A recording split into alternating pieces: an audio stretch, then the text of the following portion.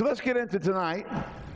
And uh, our next point, the next thing in line here is be sure that there is no doubt or unbelief permitted in your life. Be sure that no doubt or unbelief is permitted in your life. Go with me, if you will, to the 11th chapter of the book of Mark. Ah, that's, that's, a, that's a real um, surprise, isn't it? Start talking about faith, it's hard not to get into Mark 11. Amen. Hallelujah. You know the story, how that um, in verse 11 it says that when Jesus entered into Jerusalem, he went into the temple, and when he looked round about upon all the things, and now he, eventide was come, he went out and done Bethany and on uh, with the twelve, and on the morrow, uh, when he was come from Bethany, he was hungry. And seeing a fig tree afar off, he came um, happily, if happily he might find anything thereon. And when he came to it, he found nothing but leaves, for the time of the figs was not yet. Now we understand if you go back and do a little study, you know, that the fig trees would bloom leaves would also get their figs at the same time. It's kind of a parallel thing. And so Jesus saw the leaves, he went to it and got nothing, there wasn't figs there. Now, he knew what the time of the figs, but if the figs tree had leaves, it's supposed to have the figs. You know, so it was a false advertisement. All right. So, and he answered it because it said, I got figs and it didn't. So he answered it and said, You lied to me. You lied, lied, lied. You know, you lied. All right. He said, No man eat fruit of thee hereafter forever. And, like this, the, his disciples heard it. Y'all hear? Let me say something. Notice he said it. What, He didn't think it. He didn't have a choir music going, as the shadow of his hand came to the fig tree or whatever else. It says his disciples heard it. All right? And they came to Jerusalem, and Jesus uh, came into the temple, began to cast out them that sold and bought in the temple, and overthrew the tables of the money changers and the seats of them that sold doves. And he would not allow that any man should carry any vessel through the temple. And he taught, saying unto them, It is written, My house shall be called a house of all nations, the house of prayer, but you've made it a den of thieves. Now I'll tell you something. You know, you kind of look at this, you kind of you think, well, maybe we ought to take a little more look at some stuff. Now I understand there's nothing wrong with a church bookstore or whatever. You understand when they were doing this at that time, uh, they were they were running a scam on the people. The people would bring their, their sacrifices. The priest would come out and say they weren't they were spotted or they were unclean. They couldn't be used for a, a temple sacrifice, but would sell them a pure or spotless lamb or whatever, and then they would turn around and um, put that back into the into the pool and sell it again. They were they were ripping the people off, but they had to do it because the priest said it wasn't right. They they couldn't use it. They had them over a barrel, and God don't like that. That's why I call them a den of thieves. See, had they been, see, because you know, actually, if you go back and study the book uh, back in the Old Testament, they were permitted to sell um, animals if their journey was too long for, for cash or for money. And when they got to where the, the sacrifice would be offered, they were permitted to buy them if their journey was too far to try to bring animals all the way to Jerusalem. So, so that, that was nothing wrong with that. But he said they were den of thieves. They, they were doing things in a way that were ripping the people off.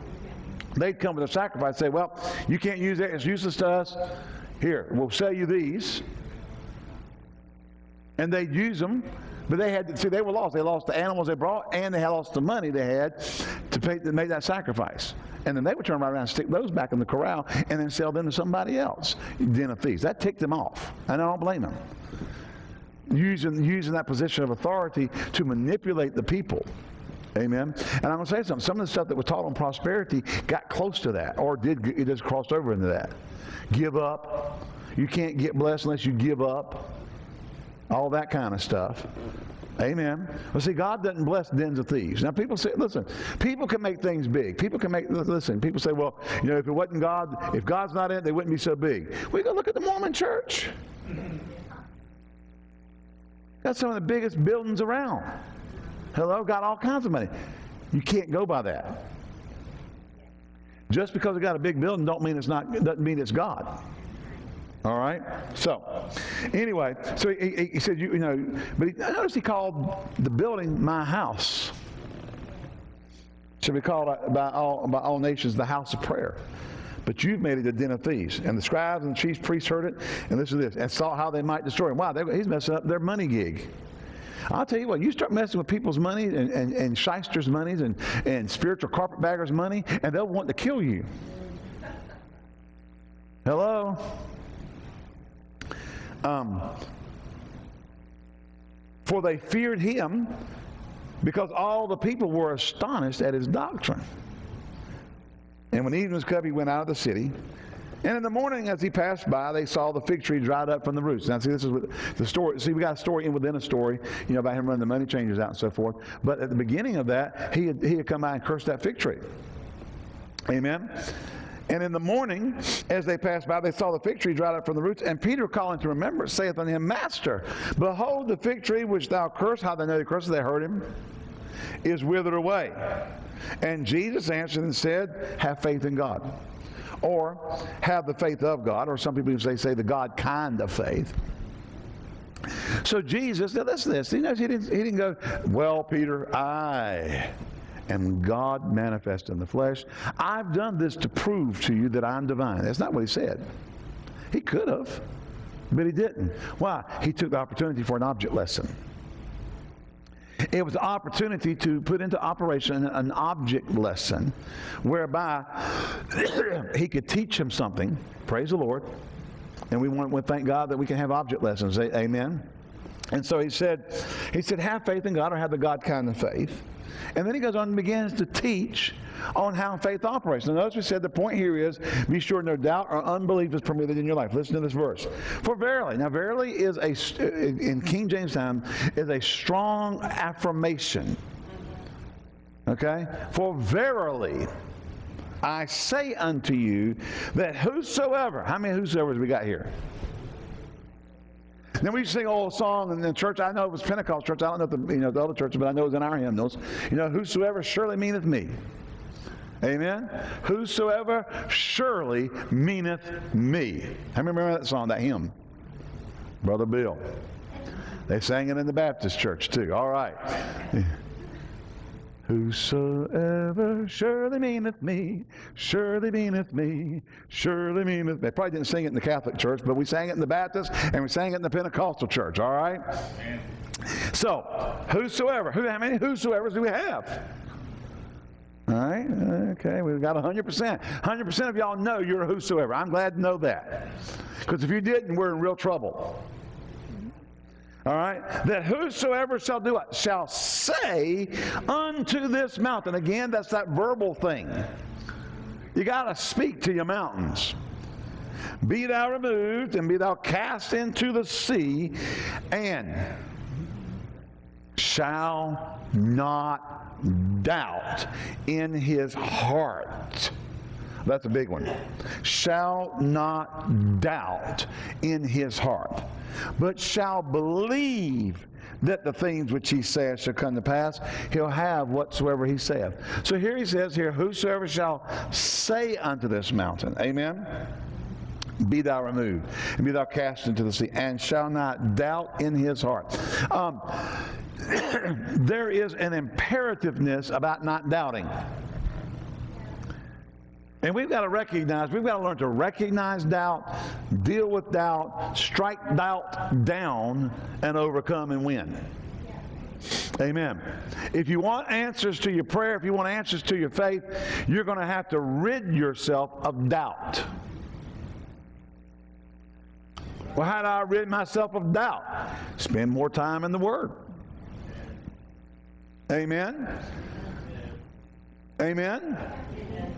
Hebrews 3:14 says, "We are made partakers of Christ if we hold the beginning of our confidence steadfast unto the end." And sometimes it's easy to not hold your confidence or your, your the the um, the beginning of your confidence steadfast unto the end. You can start out with a with a charge and then does I mean fade? Y'all hear you going home? God doesn't want you fade. God doesn't want you getting started and then and then choke it on the end. He wants you to see it through to the end. Hallelujah. Amen. Wants to hold fast your faith. Now, the Bible says, uh, uh, prove all things, hold fast that which is good. We got to hold fast to our faith. We got to be uh, fighters who fight the good fight of faith. Amen. Amen. And you can't let doubt enter in. Satan will try to bring doubt. I mean, as a matter of fact, when you're trying, when you're when you try, start trying to exercise your faith, he'll show up with a truckload of doubt, dump it in your front yard, and start shoving it up on your front porch. And if you open the door, he'll just throw it right on into your foyer. Amen. And if you start, if you don't really do anything about it, he'll call in a. Uh, I forgot what those Navy big old, uh, big Navy uh, helicopters with the dual blades on top of them. They, they, they could carry, they could carry tanks. I forgot. They're not. They, they're not Chinook helicopters, are they? You remember? Yeah. Uh, Chinook, Chinook helicopters. Great, big old things. I mean, the rotor blades, you know, boom, boom, boom, they carry a tank. Satan will show up with a Chinook and drop doubt all over your house. Are you here? He'll just dump it all over you. If you, let, if you start letting the door, now we've got to maintain the position of faith. We cannot allow doubt or unbelief to enter in in any arena. You got to fight it like the plague, because it is a plague. It's a plague to your faith. It's a plague to your receiving. Are you here? Now, you know, um, Nathan got struck with something right before Christmas, and we, we took him over to the doctor just to get get checked out and to get him something to get some relief from that pain because he was in that, that that thing hit his throat like in one night, and uh, I mean, just you need to get something. Walked in, and they had everybody sitting there with masks on. If you got these symptoms, put these masks on.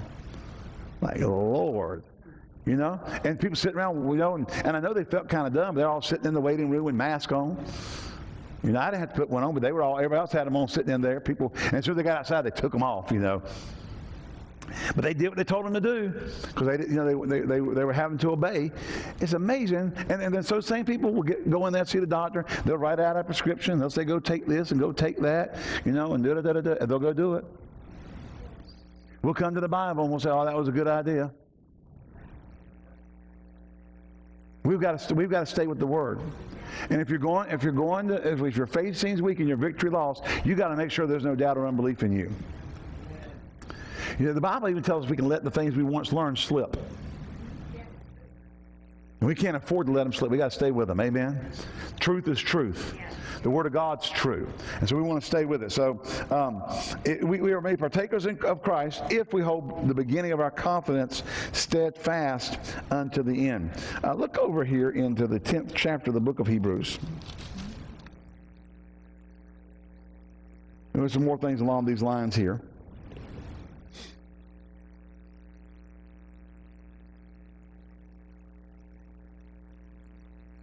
Verse 22 of Hebrews 10 says, Let us draw near with a true heart and full assurance of faith.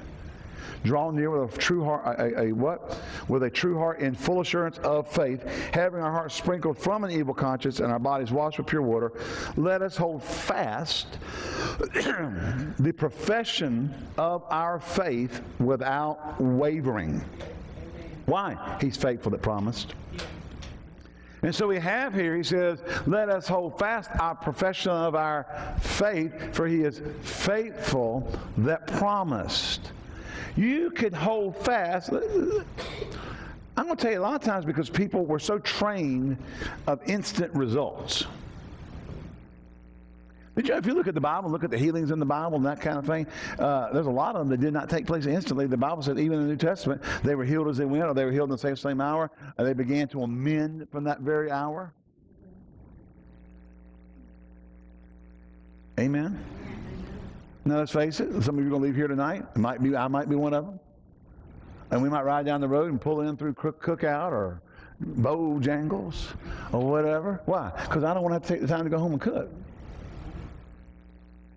May not have the time to go home and cook.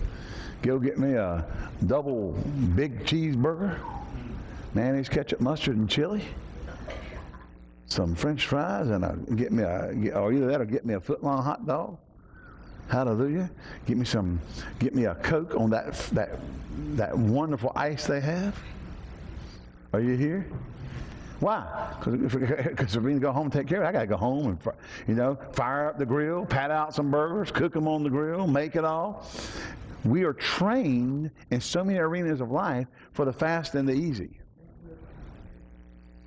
Amen. Now, look, I like homemade mashed. I like to take mashed potatoes and I like to cook them and boil them and mash them up and put cream in them and all that kind of stuff. But I'll tell you what, it's kind of easy just to take out them, them powdered things and throw them in there and throw some stuff in and go, whoop, whoop, whoop, got mashed potatoes. Y'all know what I'm talking about. Now, I do dress mine up. I'll use heavy whipping cream and that kind of stuff in them to kind of give them more body, and we'll put, put truckloads of butter in them. We'll work on them real hard to make them taste better than, you know, what they are. But society has trained us. You don't get up and cook breakfast anymore. Why? Bojangles got your biscuit waiting. And the one on High Point Road, when they got all their crew there, you'll, you'll pay at one window and be hanging it out the window at the next one.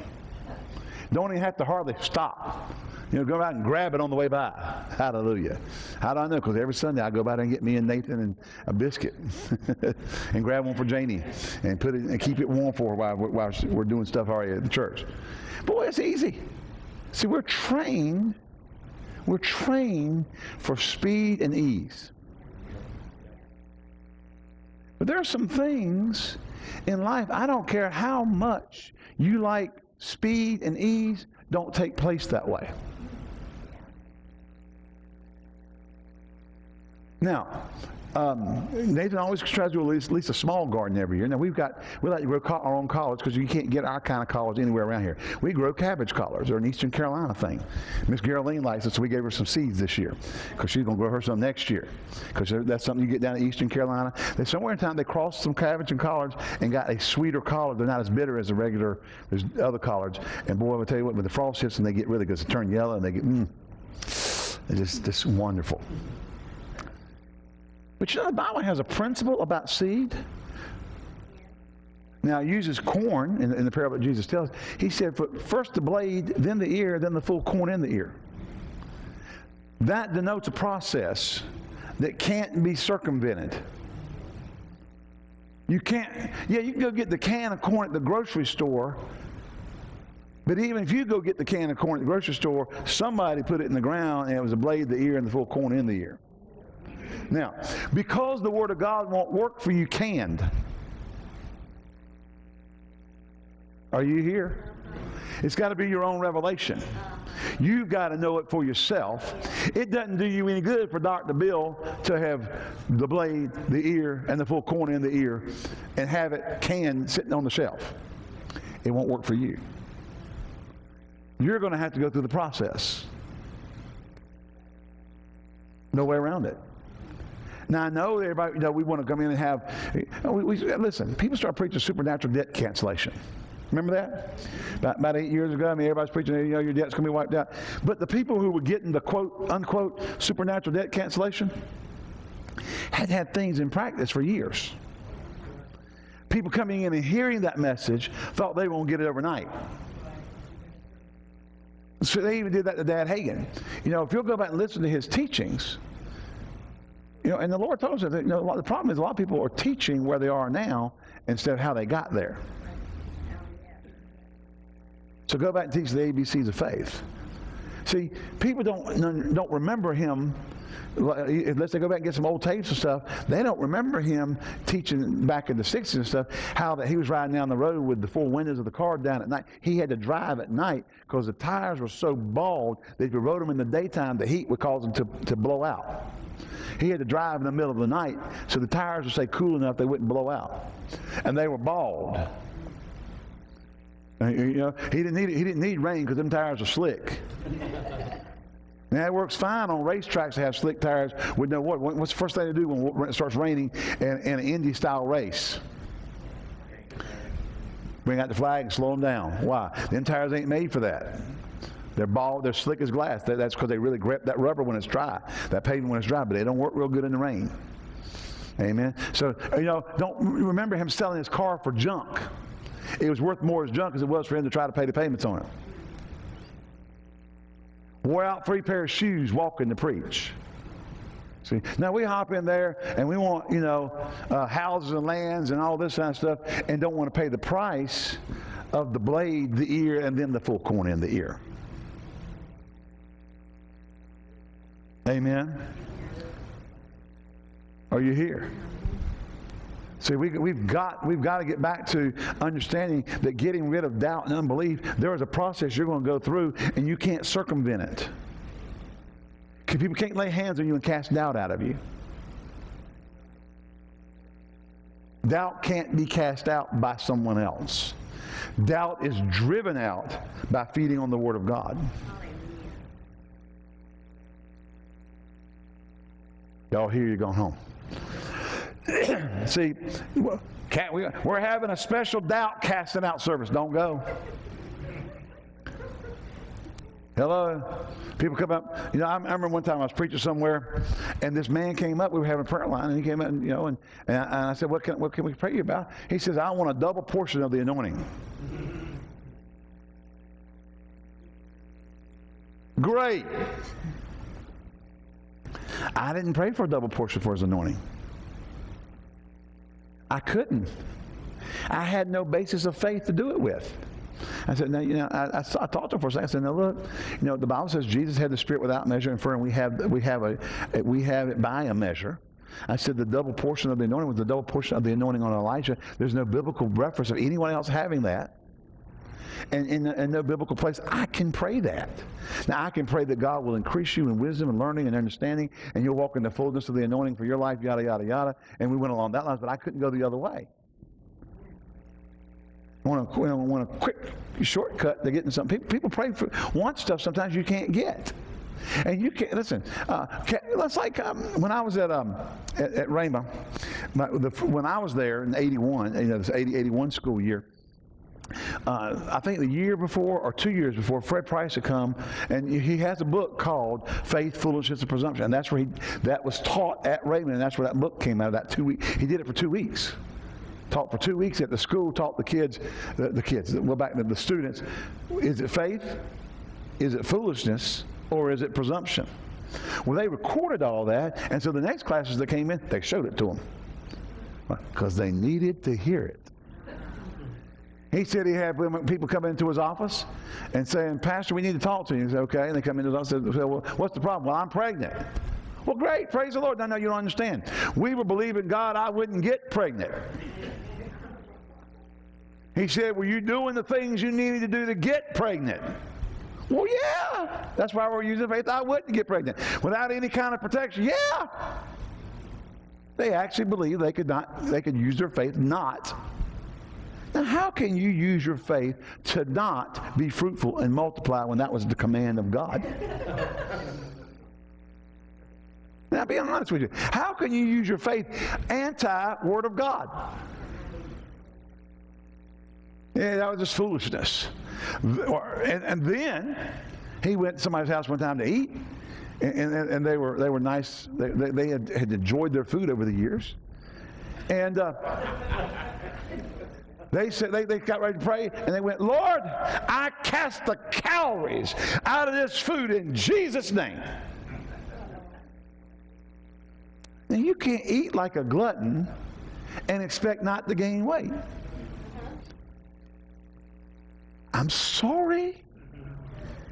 You know, I mean, you know, the all-you-can-eat buffets is not what the Bible was talking about when Paul said, "I buffet my body daily." He did not say, "I buffet my body daily." I buffet my body daily. I keep it under. Now, listen, I'm going to be honest with you. Now, we, we, we've gotten a, a, somewhat of a, a, of a real liking to Nehi orange. Now we go out to the Cheerwine place and buy, buy a case of the glass bottle long necks with real sugar in them. Now you think the ones in the can at the grocery store taste good? Forget them. You drink one of these and you that's it. And they sell Nehi grape too. Mm-hmm.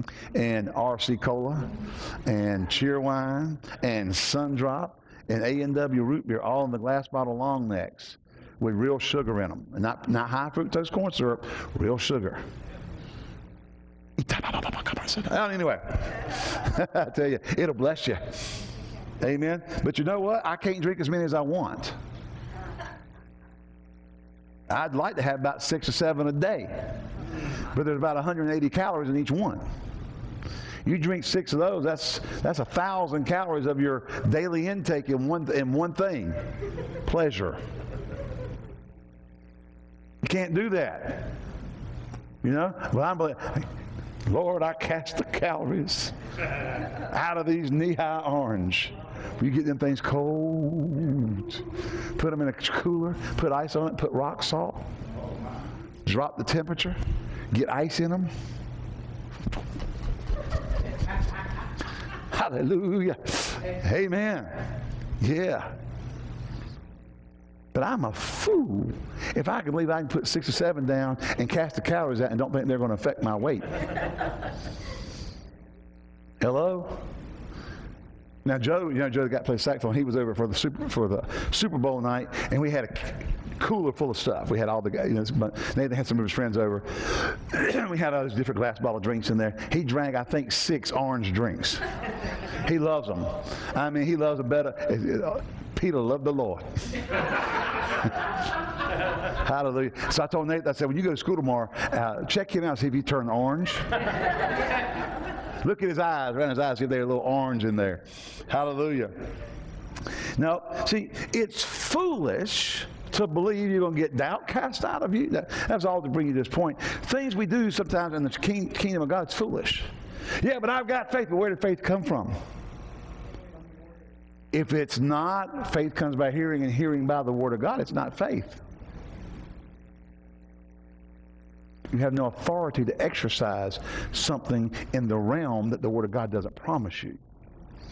And the Word of God doesn't promise you casting the calories out of the food. Nor does it promise you that somebody can lay hands on you and cast the calories out of you. That, oh boy, did I get that mixed up or what? Cast doubt out of you. Thank you. I was going to my next point in my head at the same time. Boy, you wish you could cast them calories out, don't you? Yeah. Yes, amen. I want the spirit of gluttony cast out of me. You can't do it, but you can put a knife to your throat like the Bible says.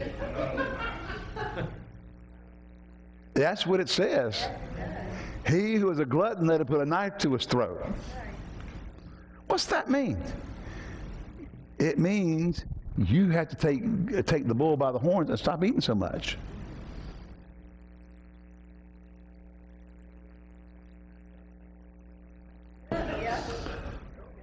And let me say something. I've seen some 130 pound gluttons. I've seen some people who eat me under the table. And they're, a little bit, how can you eat? There ain't no way your body can hold it. And you're still a glutton. Now, that being said, you can't cast doubt out of you Anybody comes along gonna have a special line, they gonna cast everything out of everybody. Uh, no, uh, the Bible said cast out devils. It didn't say anything about casting out doubt. Well, doubt's a, no, it's not a devil. Now, it may be influence from a devil to bring doubt to you, but doubt is not a devil. Doubt is the believer not fully trusting in God and His Word. Unbelief, the same thing, doubt and unbelief. Probably wouldn't, uh, couldn't flip a coin, tell the difference between the two.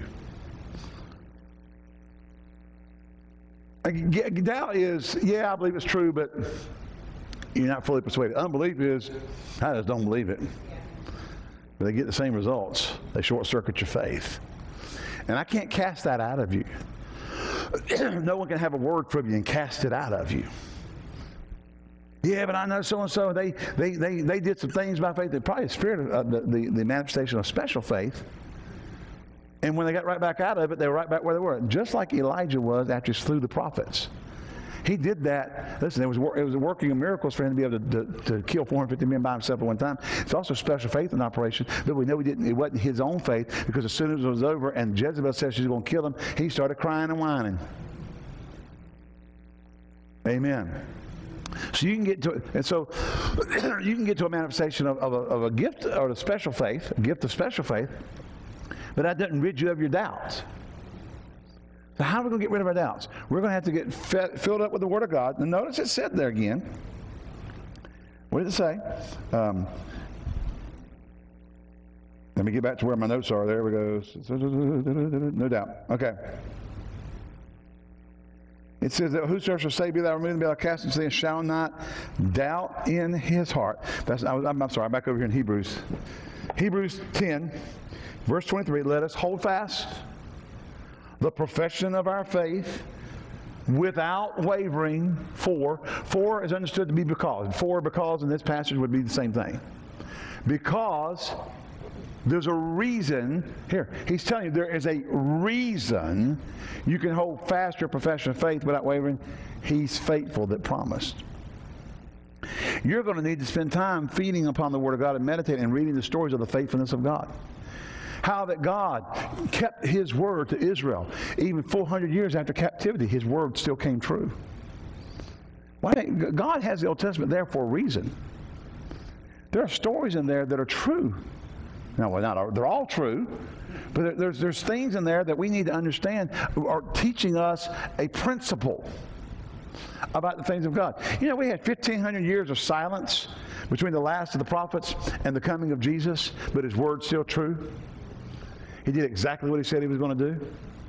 Jesus came from exactly where he said he was going to come from. The Bible says this when the fullness of times will come. You've got to stay strong and understand that some of the things that you're believing God for have to come in the fullness of time. And not become wearied. Let us not be weary. What does the scripture say? Let us not therefore be weary in well doing. Why?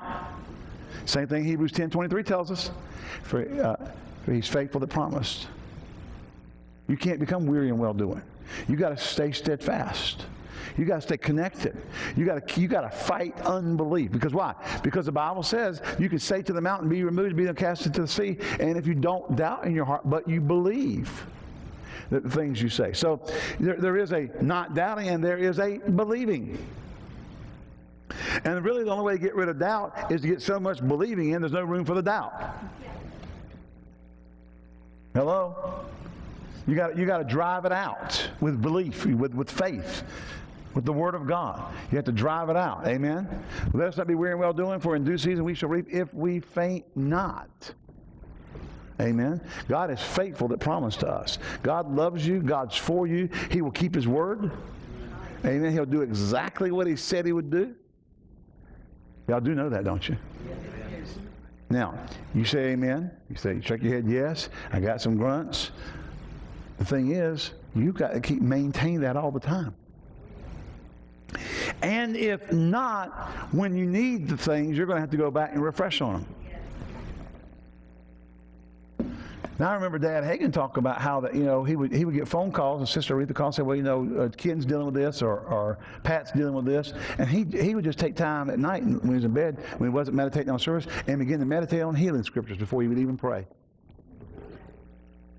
Well, he's out there teaching faith twice a day. Yep. But this was personal. He needed it for himself. He would set aside extra time and, and go back and meditate on those same things over and over again. Why? Because the scripture says if you believe in your heart, and he says it said this, it said, and you say those things and you don't doubt in your heart, but believe what you say shall come to pass. You'll have what you say. He had to go back and make sure there wasn't any doubt in there. Isn't that amazing? See, we miss that sometime. Ah, he just spoke and it happened. Well, yeah, but he didn't speak until he was sure there was no doubt in there. He made sure there was no doubt in there so that when he did speak, he wasn't just blowing hot air into the wind. We've got to learn to do the same thing. Jesus even withdrew himself and prayed all night. Amen. He spent three hours in prayer on the night before he went to the cross, just getting prepared. Amen. Who for the joy that set before him endured the shame of the cross. He had to get into faith that when he when he died on that cross, he was coming up on the other side as King of Kings and Lord of Lords. The angels came and ministered to him. I mean, he had to, he had to get himself prepared for what he was about to face. And he couldn't do it with doubt. You can't do it with doubt either. So, you got to make sure there is no doubt or unbelief permitted in your life. If you recognize or see it, you have to attack it. Amen? What do you mean attack it? If you saw a rat running through your house, I, well, I know some of, some of you would jump up on the couch and go, ha, ha, ha. But other than that crowd, amen. And even if you did that, you'd call for your husband or your wife, depending on how it is in your house. Hallelujah. And have him come kill that rascal. Amen. Are y'all here? Y'all gone home. I mean, I, I, have never seen, uh, back uh, a number of years ago, um, actually, it's, it's, back, man, we first moved to Greensboro, first year we were here. First year or two, uh, we were having the news. come. He was just going out. He had on the traveling ministry at that time, and John and Michelle came to our house. Uh, did they even have the babies yet? It was just, just them. Yeah, yeah. And uh, he called, and we had, we set up a meeting. They came, and uh, uh, we're sitting in the house that we were living. We're renting a house at that time, and this this spider goes. What? We had just moved into the new house on, over on Pin Oak. Not Pin Oak, but uh, Ar- Argyle over here. It had been open yet because they just finished the house and we just moved in. They came by. Oh, so their second trip too, because it was one of the other trips, not the first one, because they came to the Oak house too. Okay, one of their trips before they had children. And uh, this huge spider comes walking across the carpet. And of course, you know, no, no, no females like that and I don't remember, was it Janie or, or Janie grabbed the J.C. Penney catalog and body slammed it on the spider. And it crawled out from underneath. uh, Arnold Schwarzenegger spider. I mean, you know, I mean, that spider crawled out from, I mean, wham! I forgot who, who killed it. It was green, nasty mess. Hallelujah. So, now what happened? That spider was seen. The object of everybody around that spider was to take it out. Rambo style, J.C. Penney catalog style, crush it, whatever it was going to, it was going to die. You need to attack unbelief the same way. When you see unbelief crawling through your life, you need to jump on it with your great big old Bible. Get your get, get your family Bible out. They're bigger. Hallelujah. Got harder covers on them. How many know what family, how many hopefully everybody knows what a family Bible is. That's the big ones you put on the table and put all the list of who was born where. Nobody does it anymore. But anyway. And slam that unbelief, I'm talking figuratively now, by putting the Word of God in you and coming after it. You have got to attack unbelief like it is a, like you've got arachnophobia with a spider. Hello? Like you can't stand rats. I mean, um, uh, uh, I, I, I personally don't like centipedes. You know, they're, they're, they're kind of weird looking. They kind of freak me out sometimes. And I really don't like slugs. Pour like pour salt on them. Anyway, it's, it's cool to watch them go.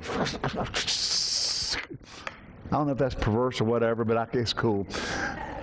Because they, they gross me out. That little slime they leave behind them and all that stuff, little trail, you know. Just pour salt on them and get rid of them. You have to address unbelief the same way you would address a spider or a rat or anything like that in your house. Amen. With the same tenacity and the same fervor. Hello? Without the squealing. But anyway, You've got to deal with it. You've got to get rid of it. You have to see it for what it is. It is a problem. Hello? And if you let that go here, that spider might find its way into your bed tonight. Amen. You know, somebody see a snake in the house and couldn't get it. Nobody sleeps. Because everybody's wondering where, they, where, where, where that slithering thing is. Hello? And, and, and of course, now I, I now you talking about something I don't like is snakes. I am a kill first, ask questions later when it comes to snakes. I don't check out to see if he's a friend of Jack or if he'll kill a fella. I am hacking and whacking and cutting. I mean, I'm doing whatever it takes until we are we had done away with them. We were building um, um, the house that my, my mother-in-law still lives in, but uh, her dad built a house out in the country, about 15 miles out of Greenville, out at Shelmerdine, North Carolina, where the Shelmerdine Pentecostal Holiness Church used to be. And you hadn't been to a meeting until you went to Shelmerdine. Who in the world names a little crossroads Shelmerdine? They did. Anyway. And so he, we were, uh, I guess her little brothers were young. They were under 10 at the time. And uh, we're, we're, we're building the house, and I, we go out on Saturdays, and every Saturday we went out and worked on the house, building it. And um, and so they had the house. We were up on the. Um, we had gotten the roofed in, you know, and dried in and stuff, and still doing stuff. And uh, I, I think I had come down off the roof and was out in the backyard doing something. And all of a sudden, the little brother started hollering, "Snake!" I mean, both of them going at it. They're little guys. And I come and running with a shovel. And it didn't take long for me to put him out of his misery. I mean, I, I mean, we, we, we had snakes when I got done. Yeah. I didn't know what kind it was. I didn't know anything about it. It slithered. Now, Mr. Glisson got home a couple hours later because he'd gone to Greenwood to get some stuff, building supplies or whatever. And they, uh, Eddie killed the snake. He went and looked at it, and he was upset. It was a king snake. he was going to put it under the house to keep the rats out. That was his pet snake for keeping the rats out of the house. I'll, I'll, pay an exterminator. I don't want no snake running around in my house that if I got to go into there, I got to check and see where he is. Well, they can't hurt you. They slither. I don't like snakes. I'm not into them. Nathan says, I want to have a snake in the house. Not in my house. They have an uncanny way of getting out of those cages. And I do not intend to wake up in bed with something sliding by my legs. Hello. Just saying. You've got to be the same way with unbelief. No unbelief in my house. Unbelief, kill first, ask questions later. How did it get in? What kind of unbelief? I'm going I'm to wipe it out first. You've got to be that way with it. You've got to have that same kind of whatever towards unbelief. Why? So it won't interfere with your faith. Because see, the equation is you can say to the mountain, but and believe and not doubting but believe what you say comes to pass. You've got to have both sides working. You could be believing what you're saying, but have doubt working against it on the inside of you. Amen. Short circuit it. Amen. Glory to God.